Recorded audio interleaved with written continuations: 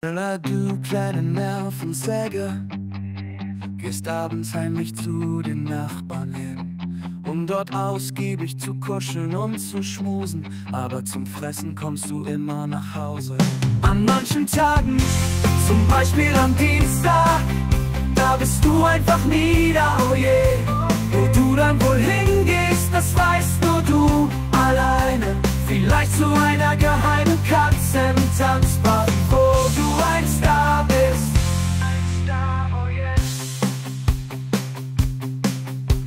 deinem flauschigen Fell und deinen spitzen Krallen bringst du so viel Chaos in unser kleines Heim.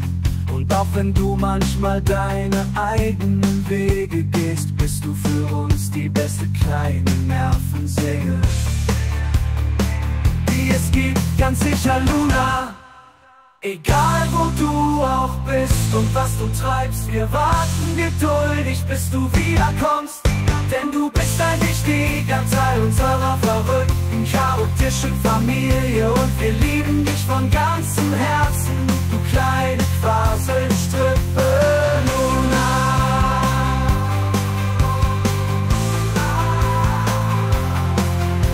Oh Luna, du bist einfach einzigartig, ob kuschelig oder wild, das macht dich aus.